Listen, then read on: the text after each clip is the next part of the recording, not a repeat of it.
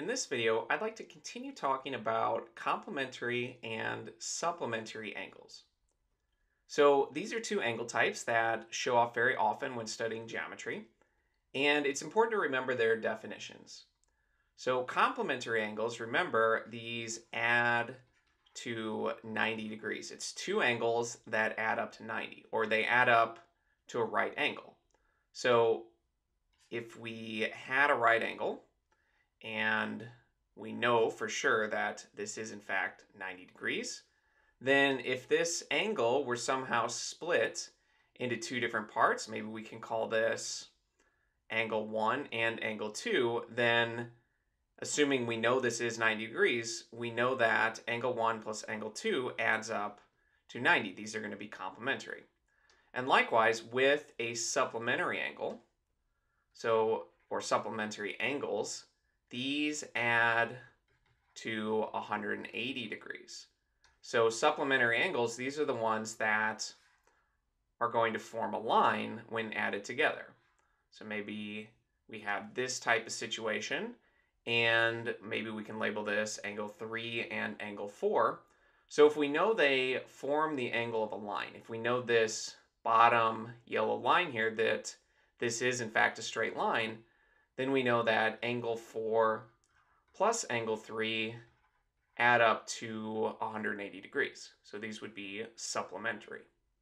So we want to use these definitions to answer some of these example problems. So for these problems, we're not just concerned with the relationship between the angles, we actually want to do some calculation and find some missing angles here. So looking at this first problem, we have this straight line AOC and it's split between two different angles. And it looks like they're going to be supplementary. It looks like they're going to add up to 180 because these two angles combine, notice, make up the angle of a line. So we can determine, since they are the angles of a line, that they are supplementary to each other. So we can set up an equation and say that this angle here, AOB, plus this angle that's 156 degrees, this BOC, these are equal to 180 when you add them together. So angle X plus this 156 degrees is equal to 180. And from here, we just subtract 156 on each side. So that angle X is 24 degrees. And you can check this just by re-adding these together. Is it true that 24 and 156 add up to 180? And that is true. If you add 4, you get to 160. Adding 20 brings you to 180. So we can put 24 degrees into our box. And let's look at another example where now we're going to have complementary angles. Since notice, we have a right angle here. And this is the key point. If you have a right angle, that's split into two different parts, you know that these are complementary. So you need that right angle to know that fact. And since they're complementary, we know that if we add them together, they're going to be equal to 90 degrees.